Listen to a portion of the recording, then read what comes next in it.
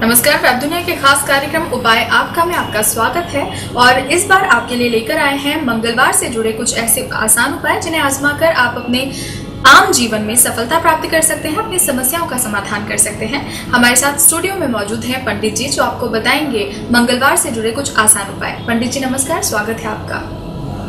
नमस्कार।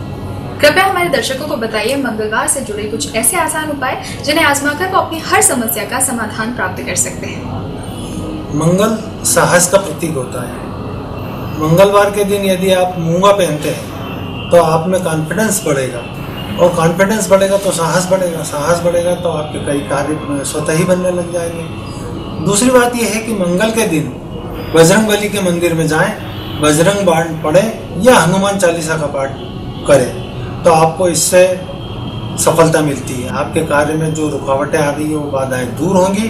और सफलता आपके नज़दीक होगी। इसी प्रकार मंगलवार के दिन एक कोई भी लाल वस्त्र पहने, जिससे आपको काफ़ी लाभ मिलेगा, ऊर्जा की प्राप्ति होगी। जब ऊर्जा आपके शरीर में पहुंचेगी तो आपके काम स्वतः ही बनने लग जाएँगे, आप स्फूर्तिवान हो जाएँगे। इसी प्रकार यदि कोई मानसिक विक्षिप्त व्यक्ति है तो मंगलवार के दिन उसकी सेवा करने से आपको काफ़ी लाभ मिलेगा। इसी प्रकार यदि आप चाहें तो एक बरगद के पेड़ के पास जाएँ, एक पत्ता लें और बजरंग बली के मंदिर में जाकर सिंदूर से भगवान राम का 108 बार नाम बारीक अक्षरों में लिखें और वहाँ चलाएँ जब वो पत्ता सूख जाए तो उस पत्ते को लेकर आप अपने पर्स में रखें तो आपके काम बनेंगे। बिगड़े काम सुधरेंगे और आप में आत्मविश्वास बढ़ेगा और आपके कई काम सफल होंगे।